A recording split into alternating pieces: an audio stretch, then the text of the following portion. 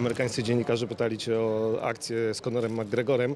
E, Rozumiem, znaczy nie wiem, czy będziecie go pozywać, bo tam takie gdzieś padły zapowiedzi Dana White'a, że zawodnicy mogą go pozwać o miliony dolarów, ale mówiłaś dziennikarzom, no właśnie co mówiłaś, że nie byłaś przerażona, bo Nie, ja nie byłam przerażona, ja się wychowywałam w Polsce, w Łodzi, więc no, no nie, no bez przesady. Tam, no było, było to niefajne, było niebezpiecznie, ale, ale no, mi się nic nie stało.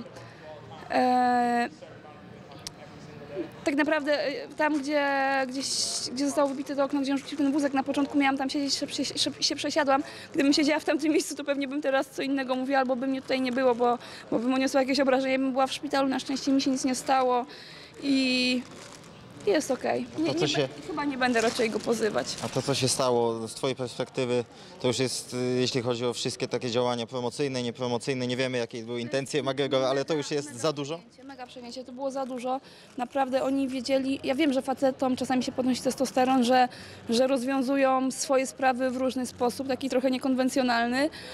E, Ale to było przegięcie, bo wiedzieli, że w tym autobusie były, były kobiety, były, że tak powiem, niewinni ludzie. Na przykład jeden z Irlandczyków widział mnie, że siedzę na siedzeniu, nie jestem podobna do Kabiba, ani nie przypominam mężczyzny, miałam rozpuszczone włosy.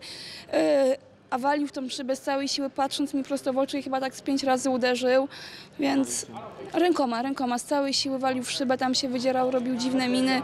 No mówię, patrząc mi w oczy, więc, więc to nie było fajne.